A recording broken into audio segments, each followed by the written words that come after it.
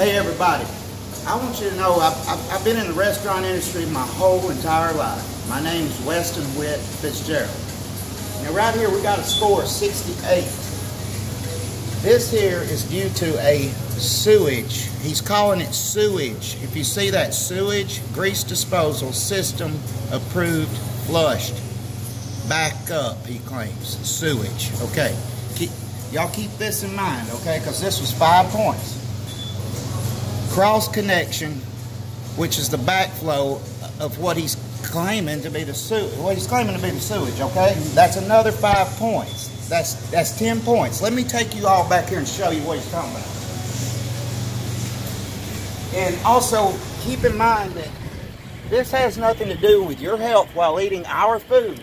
Matter of fact, it ain't got anything to do with any of that. They don't care about you, the public, the general public. Mm -hmm. They care about stuff like this. So this was a bad idea. And it's just water. I'm stepping in it with fresh shoes on, brand new shoes. Because all it is, right, all, all it is is just water. All this is just water. It's not grease, it's not sewage. He's calling it sewage. Why would I stand in sewage? This is water, okay? So there's 10 points. That would have been a 78 right there where he's got it at a 68. Mm -hmm. All right, so you come in here and you ain't gonna believe this one. This is a, this is a real kicker right here. All right, so you got these hand washing sinks. Okay. First of all, we use this hand washing sink on this side because we serve wings. That's typical. Over here on this side, we don't even use this hand washing sink that much because Everybody that washes their hands here washes them in the restroom back there. That's where they all wash their hands. That's the only time. You know, they wash them when they, that way, you know, no cross-contamination or nothing. All right, let's get back over here. So, if you notice, there was no paper towels over there. None whatsoever. So we get over here, and you've got right here, uh, one second. It's right here. Hand sink drying, towel drying. In other words, this means because we didn't have no, you know, no, no kind of towels over there dry our hands off with or paper towels, that was another four points. Okay, as of right now, I got one question to you as the general public out there eating at these locations. The, just the two things I showed you, what does that have to do with your plate, your meal?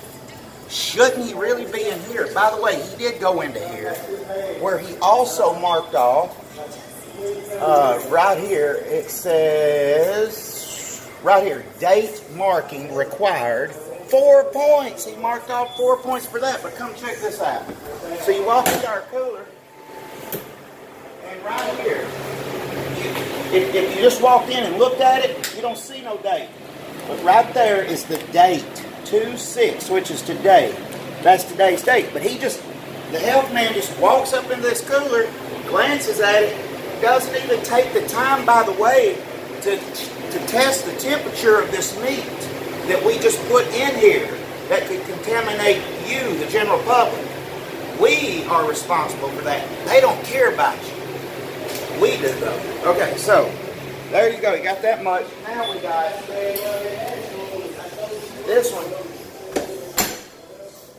This is a uh, so that that so there you have it right there. But there's another dumpster open.